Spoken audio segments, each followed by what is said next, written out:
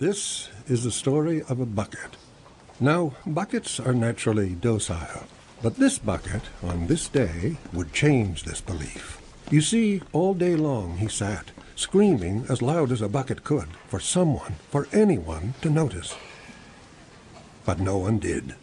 Neglected and lonely, he lashed out. Are you okay? Help! I need some help.